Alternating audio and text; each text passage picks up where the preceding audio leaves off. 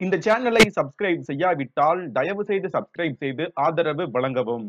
மேலும் செய்திகளை உடனுக்குடன் படித்து தெரிந்து கொள்ள W W W dot Tamilan news dot com வலைதளத்தினை பயன்படுத்தவும். கிரிக்கெட் போட்டிகளில் இருந்து ஓய்வு பெற்ற அசோக் திந்தா தற்பொழுது பாஜகவில் இணைந்து உள்ளார்.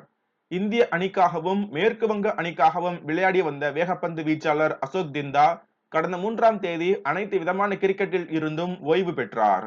இந்நிலையில் மேற்கு வங்கத்தில் நடைபெற்ற பொதுக்கூட்டத்தில் மத்திய அமைச்சர் பபுல் சுப்ரியோ மாநில பாஜக துணைத் தலைவர் அர்ஜுன் சிங் முன்னிலையில் பாஜகவில் இணைந்தார்.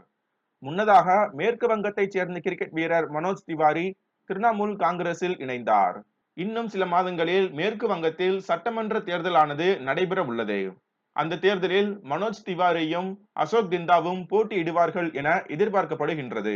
தொடர்ந்து பிரபலங்கள் மற்றும் கிரிக்கெட் வீரர்கள் உட்பட பலரும் பாஜகவில் இணைந்து வருகின்றனர். இது பற்றிய தங்களுடைய கருத்துக்களை கமெண்ட் பாக்ஸில் தெரிவிக்கவும். நன்றி.